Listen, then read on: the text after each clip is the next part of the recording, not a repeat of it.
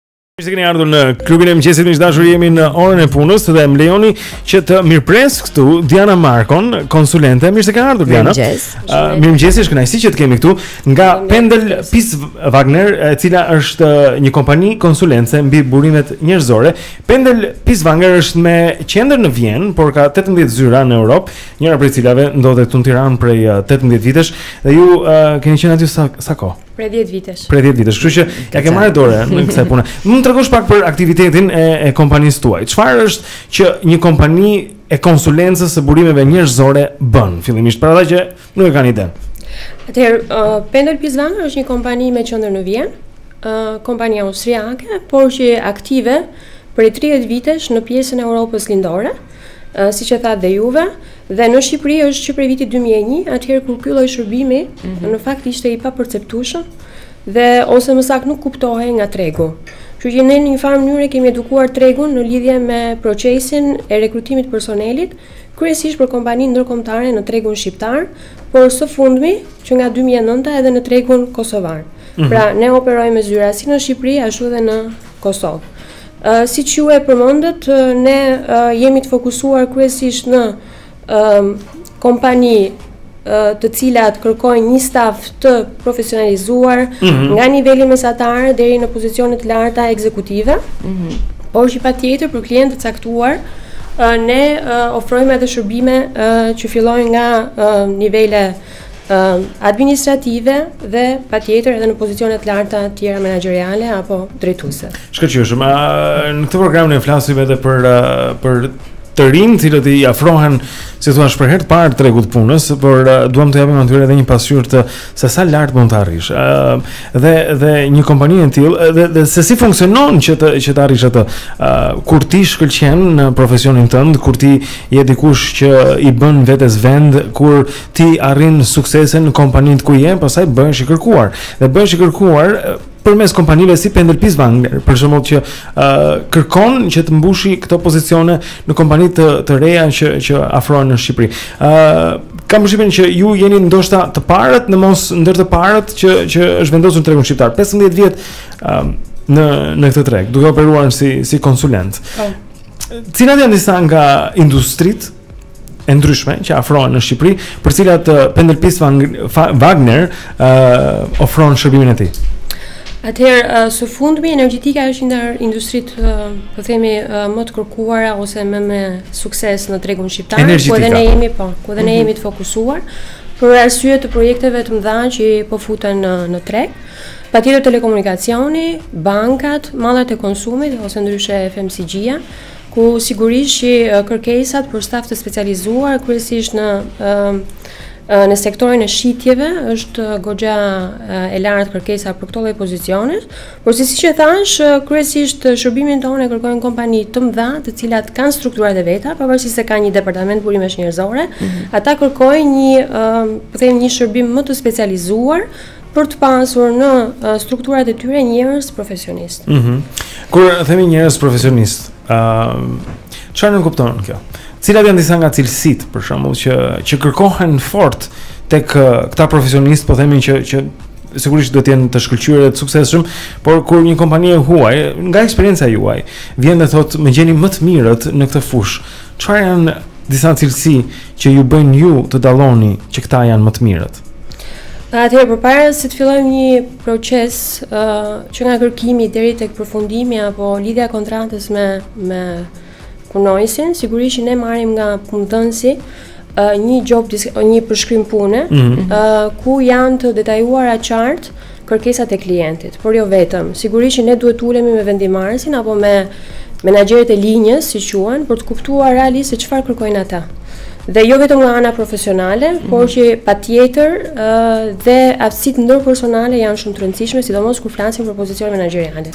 Le le të ndalemi pak këtu tek aftësitë ndërpersonale, për që njerëzit t'i kuptojnë. ë uh, kur themi ky është një një term, Po çfarë do të thonë konkretisht? Aftësi ndërprofesionale, si do të shpreheshin ato tek një person, cilat do të ishin ato gjëra që ne i dallojmë, i shohim, i dëgjojmë.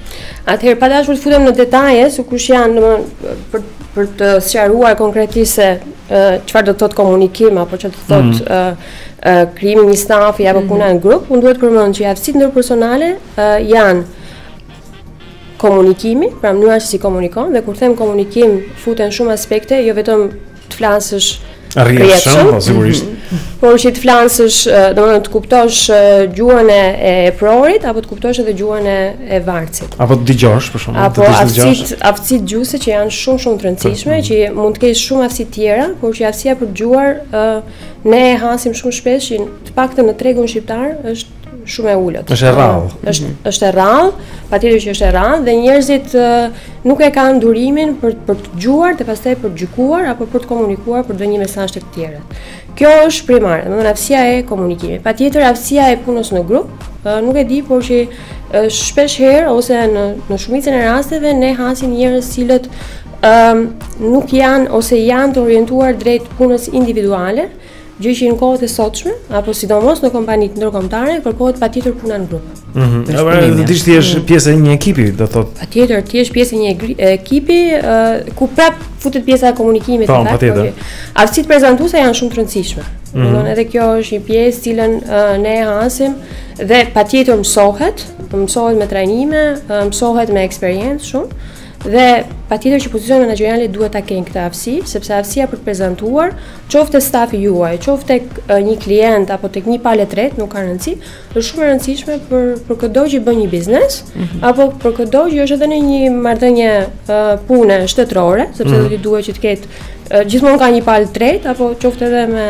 me me stafin tuaj, është e rëndësishme që uh, të ketë aftësi prezantimi, pastaj për për pozicionet e shitjeve, sigurisht mm. që kjo është një ndër pikat kryesore. Më të forta, po ti je shitës i mirë do thotë që dish të komunikosh mirë. Ëh, uh, e të kesh uh, afsi, po themi joshëse, bindëse etj etj etj si këto. Po sa njerëz mund sepse e rëndësishme është gjithashtu. Kam vënë re për shembull që kur lexoj edhe në në faqe të ndryshme biznesit botës, ëh, uh, Në qoftë se një lider, udhëheqës apo menaxher i një kompanie, drejtor qoftë në një nivel të caktuar, nuk arrin që të komunikojë me stafin e vet, nuk arrin të përcjellë se cili është qëllimi i punës së tyre, këtu ndodhin thonë ato krisjet më të mëdha. Domethënë ato dështimet më të mëdha janë sepse njeriu poshtë nuk e di. Dhe unë kam vënë re në kompani shqiptare, flas shumë shpesh që që pronari, se ndonjëherë pronari është gjithçka tjetër, drejtori e ka në kokë se çfarë do të bëjë, por në stafin e vet askush tjetër nuk e di se çfarë do të bëjë pronari, sepse pronari ka një problem me komunikimin, nuk i ka frymëzuar dot ata, nuk i ka bërë dot pjesë të një ekipi që ta ndjekin e të luajnë bashkë me të për të shënuar po themi një gol biznesi. Patjetër. Domethënë një ndër ajo që ju përmendët është një ndër ato pika që unë po thoja, që është delegimi. Domethënë patjetër që futet tek pjesa menaxheriale, që shumë uh, menaxherë uh, e kanë këtë gap, e kanë këtë mangësi ku uh, japin punën dhe prapë rrotullohen tek komunikimi, sepse mm -hmm. ajo është shumë e rëndësishme, pra mënyra se si i transmetohet uh, punonjësit mesazhi ose uh, kërkesa që duhet bërë ose puna që duhet bërë, ë uh, Dhe kjo pjesë tek menaxherët mungon sepse delegimi është shumë i rëndësishëm mm -hmm. për mhm. të marrë, sigurisht për të marrë atë që kërkon. Çfarë bëjnë mikromenaxhojnë apo kontrollojnë vetë çdo punë e, për, e përdorin atë njeriun më poshtë thjesht për shko bëj këtë, bëj atë pa e bërë pjesë të të Po mikromenaxhimi varet shumë edhe nga kompania, nga struktura, më mirë një mikromenaxhim se sa një delegim i gabuar. Mm -hmm. Domethënë më mirë kur ë, uh, mundohesh futesh në detaje dhe mbase produktin e ke shumë më, më efektiv dhe më eficient. Se sa një delegim ku mendon se bën mak makromenaxhim dhe në fakt nuk nuk i ke dhënë mesazhin e duhur ose nuk merr produktin e duhur mm, që mm. duhet për kompaninë. Për çim tani që të kam këtu për të, të se kjo ju për shkak të natyrës punës tuaj ju duhet që vazhdimisht të vëzhgoni tregun, shikoni se çfarë ndodh dhe kjo ju ka ju ka bërë që të keni informacion mbi atë se çfarë çfarë ndodh sot edhe në biznesin shqiptar. Ëh uh, Do të të flisim pak për uh, Cilësitë i prekëm disi, domethënë disa nga cilësitë kryesore që, që kërkohen tek një kandidat potencial që ju, ju kërkoni. Uh, ku e kryeni kërkimin tuaj? Vjen një kompani, po them e njohur, botërore, që ka një pozicion pune, sigurisht që do të jetë një pozicion i lakmueshëm, për ata që do ta zënë, sepse është i, i mirëpaguar, i një niveli të lartë, uh, Kur ju nisni kërkimin për diçka, uh, keni mbledhur CV-të e shumë njerëzve apo apo kërkoni rast pas rasti uh, për njerëz që do të ishin të përshtatshëm dhe do të përmbushin kushtet që edhe klienti juaj pastaj të mbetej uh, mbetej shumë i kënaqur. Domethënë, ë uh, Pendl & Piswanger si e bën këtë? Atëherë për shkak të eksperiencës disavjeçare, siç e thatë 15 vjet në treg, patjetër që ne kemi një database në fakt shumë efektiv në lidhje me kandidaturat potenciale në tregun shqiptar. Mm -hmm. Që që kjo, kjo është një informacion që gjithë kompanitë uh, ndërkomtare, shqiptare, uh, e kanë në momentin që ne bëjmë prezantimin e kompanisë dhe sigurisht ofrojmë shërbimet tona. Pra, pikë së pari është database. Mm -hmm. uh, më vonë, ose më saktë për shumicën e pozicioneve, uh, ne bëjmë kërkim të drejtpërdrejtë, që do të thotë Mundohemi që të bëjmë kërkim në çdo cep të Shqipërisë së pari dhe të mos humbasim asnjë potencial të mundshëm që mund të jetë në Shqipëri për klientin tonë. Dhe ka shumë raste kur ne bashkëpunojmë me shoqata ndërkombëtare që mund na ofrojnë kandidatura shqiptare, të cilat të cilët punojnë jashtë dhe mund të sjellin edhe një ekspertizë të caktuar në tregun shqiptar, Në industri të ndryshme. Pse pse është nëse mund të mund të pyes pak. Pse është e preferuar kjo? E, e vrej si diçka që ju kontrolloni domethënë fillimisht në Shqipëri, para se dilni jashtë Shqipërisë, nëse nuk gjendet një kandidat i mundshëm në Shqipëri, uh, apo edhe tek shqiptarë që jetojnë jashtë për t'u për t'u kthyer. Janë të preferuar kandidatët uh, të jenë shqiptarë apo nuk është kjo një kërkesë e domosdoshme? Jo, patjetër që ne duhet të plotësojmë kriteret e pozicionit, por që edhe pse ato janë kompani ndërkombëtare, sigurisht që për aq kohë sa shërbimi ofrohet në Shqipëri, ne jemi mhm. të interesuar që të kemi shqiptarë në pozicion. Pra, jo domosdoshmëri, por mhm. preferencë është. Patjetër që po. është preferencë, por është edhe për shkak të gjuhës, mhm. sepse gjuha është ok, ka pozicione që ju patjetër ju duhet shqipja, por që Plus, dhe është një aset, shqipja është një aset, për, për aq kohë sa shërbimi është këtu. Dhe do të them dhe këtë që ka shumë pozicione të cilat ne nuk i gjejmë dot në tregun shqiptar dhe jemi të detyruar, jo se duam, por jemi të detyruar që të kërkojmë jashtë. Mm -hmm. Në tregun e rajon, rajon, po. Pra, në në rajon ose edhe ndërkombëtar, pastaj kur bëhet fjalë për pozicione që ne nuk arrijmë dot t'i identifikojmë në Shqipëri dhe që nuk nuk plotësojnë kërkesat e, e klientit. Kjo mm -hmm. është pikë së pari mm -hmm. një ndër uh, kriteret tona si kompani rekrutimi. Sigurisht, ju, ju i shërbeni klientit tuaj dhe në këtë mënyrë edhe duhet të gjeni patjetër kandidatin që të plotësojë këto kushte përndryshe ç'u pa puna se s'është një njeri që nuk vlen për atë vend dhe ah. Anën profesionale po e po, kjo nuk diskutohet, por që ne mundohemi që të identifikojmë edhe ose të masim, po themi, edhe aftësitë ndërpersonale që në fakt nuk është e lehtë mm -hmm. të përcaktosh ose të mundohesh të bësh një vlerësim të aftësive ndërpersonale që nuk mund të Për mendimin tim nuk mund të përcaktohen, mbas 10 vitesh punë, unë mund të them që nuk mund të përcaktohen me një intervistë, as me dy, as me tre. Pra, pra gjithmonë janë sigurisht edhe referencat, rekomandimet që ne marrim nga punëdhënësit e mëparshëm të kandidatëve të cilët ne punësojmë, sepse për të kuptuar se kush është kush ka qenë e shkuara e tij pikërisht në këto marrëdhënie ndërpersonale, menaxheriale pastaj po e po. E kuptoj. A cilat janë disa nga këto pozicione që janë më të vështira për t'u mbushur në nga tregu shqiptar? Domethënë në tregun tonë cilat janë këta elemente që që mungojnë që që uh, janë vështirë për t'u hasur e të rrallë për t'u gjetur. Çdo men çdo pozicion menaxherial për mendimin tim është i vështirë për shkak të pikërisht të mos arritjes së vlerësimit 100% të aftësive ndërpersonale, sepse sot ne po kuptojmë që ana profesionale edhe mund të mësohet. Mm -hmm. Domethënë mund të çedojë diku nga ana profesionale dhe e mëson me një trajnim apo me dëshirë apo me, me motivin për të mësuar diçka të re. Mm -hmm. Ndërsa uh, pjesët aftësitë ndërpersonale uh, ato janë të lindura, sigurisht që zhvillohen, por që nuk mund të ndryshohen. Domethënë, sidomos pjesa e integritetit për shembull është diçka që uh, është e vështirë për t'u matur dhe e vështirë për t'u garantuar te klienti. Pra, domethënë do ishte shumë e vështirë për mua si konsulente pa pasur uh, uh, po themi informacionet e duhura në lidhje me kandidatin, që t'i them një klienti që shiko sepse uh, ky person apo ky kandidat ka integritetin e duhur për këtë pozicion. Mm -hmm. Ku sot integriteti është një ndër, po themi, kriteret kryesore për shumë pozicione. Absolutisht për pozicione menaxheriale nuk diskutohet, por edhe në nivele specialistësh. Integritetin po e kuptoj si si uh, element të komunikimi të mirë, por jo vetëm ka edhe të ndershmërisë të trajtimit të të tjerëve, gjëra që ne po i shohim që që sigurisht edhe po i vuajmë deri diku në Shqipëri, uh, mungesat e të cilave me uh, me këshilltarin e parë të të ministrit holandez të, të financave një ditë ë uh, i shtrova një pyetje në një forum ku ndodheshim dhe e pyeta nëse ishte më e rëndësishme uh, për të si profesionist ai ishte mbi 40 vjet uh, këshilltar financash për Holandën ë uh, nëse ishte më e rëndësishme aftësia profesionale tek një person apo karakteri dhe integriteti që ky ofronte. Dhe ai i tha pa asnjë diskutim, karakteri, integriteti personal është shumë e shumë më i rëndësishëm se sa aftësitë për të qenë një financier i zoti apo mastera ta doktoratura në financë, sepse në fund të fundit ajo pjesë plotësohet me këshilltarët e duhur, me profesionistët e duhur, Por në qoftë se ke një mjeshtër të financave që s'ka integritet, të ka zënë ka zënë një e keqe shumë e madhe pastaj. Okej, okay, kështu që kjo e bën punën tuaj, si thua, është edhe një sfidë e përditshme. Edhe edhe do të thotë është ai elementi i rrezikut që duhet të jesh ju duhet të jeni së pari të bindur që keni gjetur kandidatin e duhur që i plotëson që të gjitha kushtet që ju keni atë qetësinë që do t'i ofroni klientit tuaj një njeri që do t'ju nderojë po përdor një fjalë kështu duke duke bërë punën Kandidati që përzgjidhet nga kompania duhet të theksoj edhe këtë që ne nuk kemi vendimmarrje për të zgjedhur kandidatët. Pra ne prezantojmë mm -hmm. kandidatët më të mirë në një mm -hmm. listë të shkurtër që ne e quajmë në shit. Short list siç thuhet. Po. Short list, po.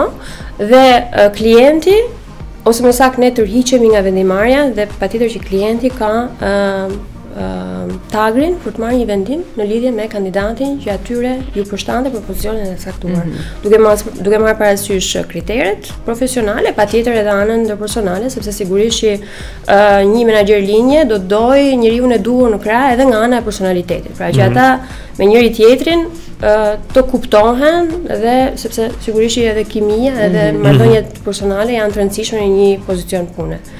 Kështu që ne mundohemi që të ofrojmë më të mirët dhe vendimin e ka vendimarrjen e ka klienti për ta përmbledhur. Mm -hmm. Për ne është e rëndësishme që ai kandidat të jetë sa më gjatë brenda kompanisë ose më saktë suksesi jonë matet me jetëgjatësinë e kandidatit në punë. Mhm. Mm që patjetër që sa më gjatë të jetë ai, aq më aq më të besueshëm jemi ne te klientët. E kuptoj. Ë uh, Diana, nëse mund t'i bëje një këshillë ë uh, studentëve shqiptarë, dikujt që është student i ri, që sapo sapo e ka nisur karrierën. Ai sigurisht nuk është kandidati potencial për t'u bërë menaxheri i parë apo e një firme ndërkombëtare që vjen në Shqipëri. Megjithatë, një ditë do të vijë edhe ajo kohë. Çfarë do të ishte këshilla jote nëse do të jepje dot vetëm një?